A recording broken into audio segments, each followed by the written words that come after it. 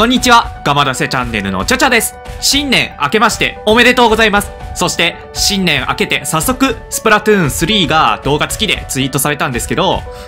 ちょっと気になるところがあって、この動画を見るとわかるんですけど、もしかしたらパブロは続投されると大抵の人は思われるかもしれませんが、それより私は注目したのはここです。そう、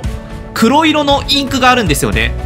実は今までのスプラの製品版に黒色のインクは出てないんですよ。だからもしかしてだけどスプラ3にブラックカラーが追加されると思ったんですね。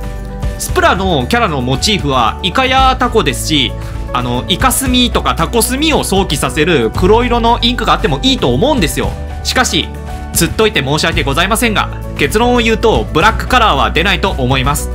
後でスプラ3の PV 確認したんですけど黒色の傘の武器が出ているんですよね。なので紛らわしくなるという問題があると思います。あと最近の任天堂ってめっちゃ配慮してるんですよね。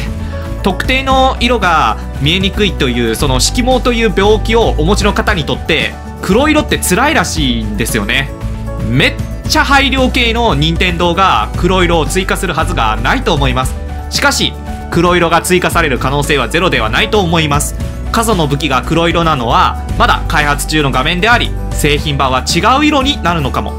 皆さんは黒色追加してほしいのかどうかぜひコメントお願いします。おつがま。